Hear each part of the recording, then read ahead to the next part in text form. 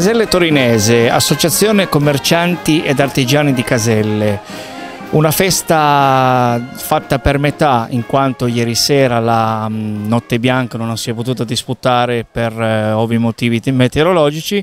invece durante la giornata di oggi riusciamo a portare a termine questa giornata. Luca Marchiori. Sì, come dice lei è una festa purtroppo riuscita a metà perché ieri sera il tempo non è stato clemente, eravamo pronti, la musica era pronta, il, il paese era pronto per rispondere alla manifestazione e abbiamo avuto la fortuna fortuna nel, nella sfortuna di avere questo tempo non clemente di poter rinviare la, la manifestazione alla prossima settimana. La prossima settimana ci impegneremo a ripresentare tutto quello che avevamo programmato con qualche sorpresa in più. Oggi invece l'afflusso di, di pubblico come potete ben vedere è, è alto ma è, lo sapevamo, lo sapevamo perché ormai è un rapporto consolidato con Crocetta in più, Crocetta in più porta a Caselle parecchi parecchia gente e di questo noi ne siamo felici e orgogliosi.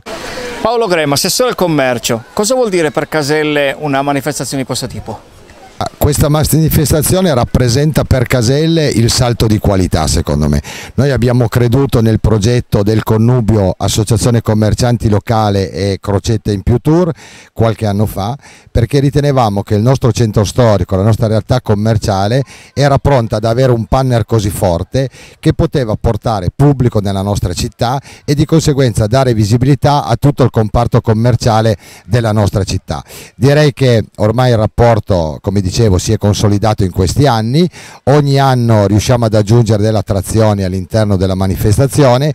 e eh, ormai Caselle è diventato un po' un centro attrattivo per quel che riguarda eh sì le attività commerciali ma anche diciamo il tempo libero perché noi dobbiamo eh, vedere nell'ambito delle nostre manifestazioni che ci sono sempre dei momenti anche ludici ricreativi che comunque danno lustro alla nostra città e rendono sempre più vivibile il nostro centro storico e questo mh, per noi amministratori è il dato politico più importante una città che è viva non solo in alcuni momenti ma tutto l'anno.